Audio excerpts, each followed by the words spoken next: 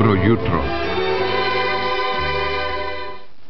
Čuli ste kada smo pričali o prelistavanju sa urednikom politike, Draganom Bojoševićem, e, povodom toga što je 107 godina politike danas, e, da se na današnji dan, pa baš u ovim trenucima otprilike, e, pre 10 godina Skupštini Srbije kao novi premijer obraćao Zoran Đinđić. I 10 godina kasnije, gde smo mi, bit će tema za analizu mnogih medija danas, političara, analitičara, što mi je omiljena sorta, ali realno gde smo mi 10 godina kasnije dobro znamo na svojoj koži.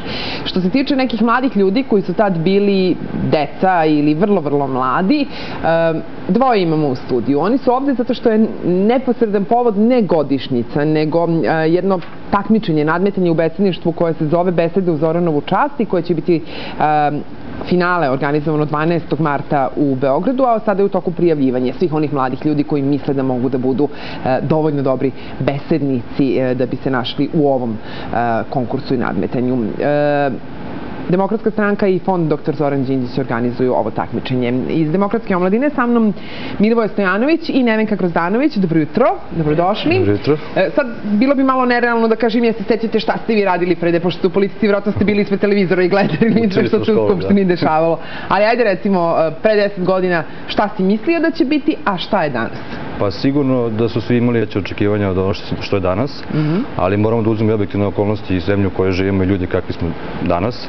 I zato jeste ovo takmičenje važno da svi ti mladi lideri koji se stvaraju dobiju neku šansu da pokažu u tom, na tom takmičenju svoje veštine komunikacije, da svoje ideje izlože na pristojan način, da ne vređaju druge ljude. E, I to je ono što mi želimo već šest godina u stvari radimo zajedno sa fondom dr. Zoran Đinđić, jer e, to liderstvo je ono što fali Srbiji i to liderstvo, nažalost, je prekinuto 12. marta E, i dalje postoje lideri u ovoj zemlji koje vode pravim putem, ali mi želimo da i mladi ljudi shvate da ono što je tema ovog takmičenja danas je e, kada pre nego što baciš kamen na drugoga, reci šta si ti uradio i, i to je u stvari suština da svako od nas se zapita šta je danas uradio za ovu zemlju i, i da to iznese, jer taj taj duh, optimizam i pozitivizam zaista fali.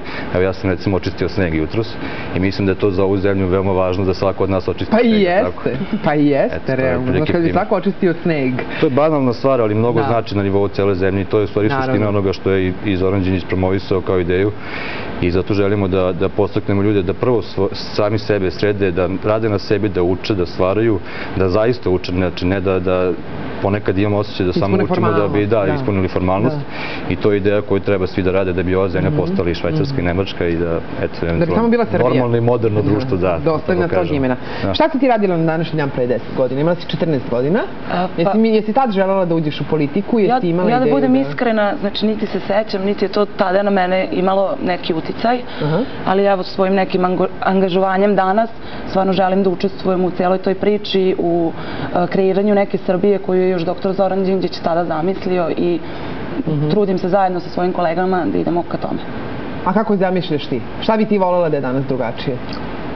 Pa ne znam, što se konkretno mladih ljudi tiče, mojih prijatelja, mojih kolega, Vola bi da imamo nekih više mogućnosti za učenje, napredovanje, a i vola bi da su mnogi moji prijatelji mnogo više to što Mile kaže društveno aktivni. Mm -hmm, da se uključuju da li u političke stranke, nevladine organizacije, prosto da budu aktivni za sebe, svoje društvo i na kraju za svoju državu. Da. Um, sad ja ne sumnjam uopšte da će se mnogo mladih aktivnih ljudi prijaviti na takmičenje. Um, Je to samo takmičenje ili to su to je u stvari neka vrsta omaža, da e, kažemo? Pa ne, to je jeste takmičenje. Nije point u tome da oni gazde jedni i drugi da bi bili najbolji mladi lideri. Naravno, nije takmičenje u pravom smislu tom reći, mada takmičenje je dobra stvar, zato što mi treba da se takmičenje s drugima. To da. jeste neka ideja koja ovaj, nas gura napred. Ali ovaj, u svakom slučaju je to prilika da iskažete svoju ideju. Znači, stvar e, gde vi imate šansu da zaista pokažete na pravi način vaše ideje i da vas drugi ljudi čuju. Mi smo posebno ponosni što svake godine sve više učesnika se prijavljuje. Koliko, na primjer? Koliko je bilo pa, na primjer, mi imamo u Beogradu dva, dva takmičenja, pošto smo najveći grad, naravno. I na svakom od tih takmičenja je bilo po oko 15 učesnika. Mhm. To je stvarno ogroman broj i baš smo ponosni na te ljude zato što je mnogo lakše sedeti ispred malih, malih TV ekrana ili velikih Mhm. plazma televizora i ovaj, pričati ja ovo, a ono, znači mnogo je teže doći u emisiju kod vas i reći tako nešto i izneti na pravi način Da. i uvek vam te deluje kada neko drugi radi da je to mnogo lako, a kada ste vi negde na terenu pod znacima navoda je mnogo teže. I to jeste priča da ne treba da se boje toga, znači treba da grizu, treba da se trude, treba da rade, da daju sebi šansu, niko im se neće Märti.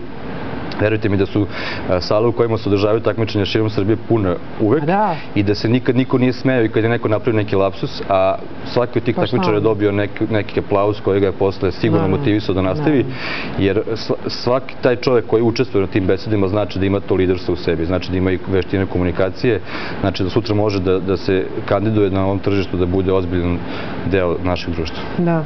E, ja, mene, stalno me nervira to kad kažu ja, političari su ovakvi ili onakvi. A kao šta te sprečava da ti budeš političar ako im zavidiš, na primer, ili lider, kako god, uključi se u priču, uopšte nije problem.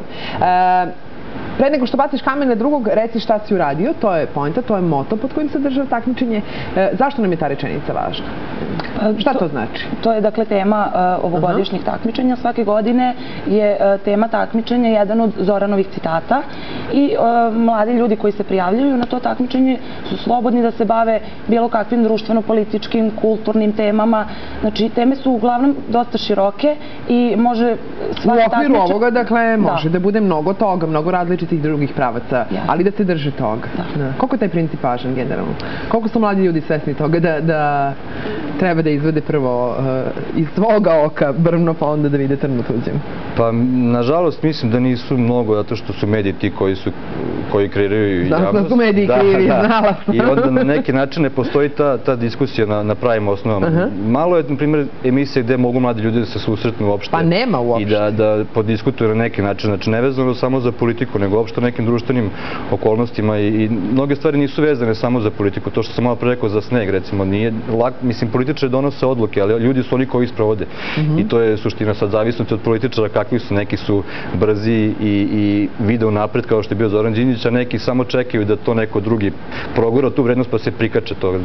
Neću Mhm. sad da pričam o tim nekim teškim političkim temama, ali otprilike razumete me šta sam teo da kažem. Stvari u samo u tome da nama treba ljudi koji hrabro hoće da donose odluke i ljudi koji će te odluke da isprovode. Jer bez Mhm. tih operativnih, sposobnih mladih ljudi ova zemlja ne može da dalje i to je ona konkurencija koja nam fali. Da ti mladi ljudi, ako već misle da su sposobni i, i bolji od ovih koji nisu tu, da se uključe. Znači, niko njih ne sprečava da se time bavi. Ja bih volao i meni je i, i žao što i u mojoj stranci i u svim ostalim strankama ne postoji mnogo veći broj aktivnih članova jer se nažalost ti neki stereotipi stalno pojavljuju kako su političari ovakvi ili onakvi. Naravno ima ih raznih, ali vi dokažete prvo vi da ste bolji i onda će sigurno... Pa teško je, prepoznati. znaš, treba krenuti sa lepljenjem plakata, sa čišćenjem Pa jest, snega, sa nisu to. baš poželjne, znaš. Pa- Svi bi na neke međunarodne konferencije, na službeni da, telefon, da. da, kravatu i ostalo, ali dug Pa je dobro, put. i to je okej.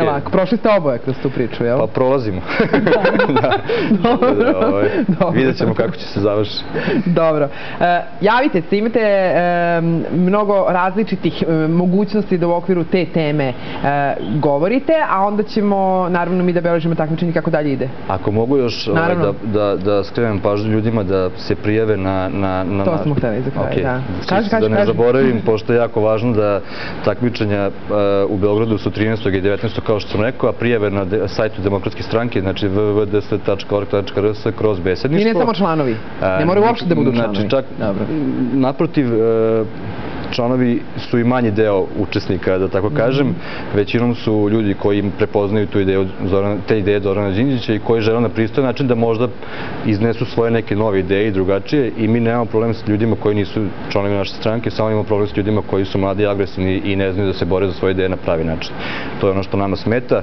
Ne smetaju njihove ideje, smeta nam način na koji se oni bore za te ideje i to je u stvari suština ovoga da, da svi treba da se bore za ideje koje imaju na pristojan, civilizovan način i da ih da ljude ubede u svoje argumente. Pa bilo bi zanimljivo čuti i to, pa da vidimo, znaš, kako to izgleda kad, kad se Pozovite rečima... nas na gostovanje na prijatelj. Hvala mi ćemo mnogo. Važi, Hvala. E, Hvala. Milivoje Stojanović i Nevenka Grozanović bili sa mnom, pričali smo o takmičenju u besedništvu Besede u Zoranovu čast. Finale će biti 12. marta, logično, u Beogradu i mi ćemo vam preneti sve što treba da znate, od tada budite deo te priče.